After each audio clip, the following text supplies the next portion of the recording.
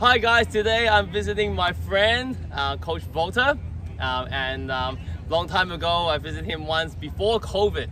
And now I come back and um, now I can see Coach and have a hit. He's really busy, so he got some time for me. So uh, Coach, thanks for your hit. Thank you very And, much, um, Henry. It's good to have you here. Yeah, and um, Coach is uh, ranked in the um, seniors masters in world, so you can check the uh, online. He didn't even know. I checked for him, and so be sure to find um, Coach Valter when you guys are in um, California, LA. And um, anything else you want to share with our friends? The, the things you guys do?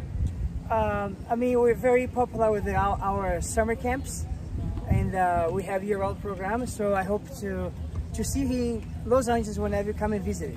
Yeah, and um, right now behind the camera, there's like one, two, three, four, four courts going on with kids. So uh, right now is you know one summer. That's why they're doing the lunch break, but it's still very busy. So be sure to find coach, um, just like I did when you guys visit California.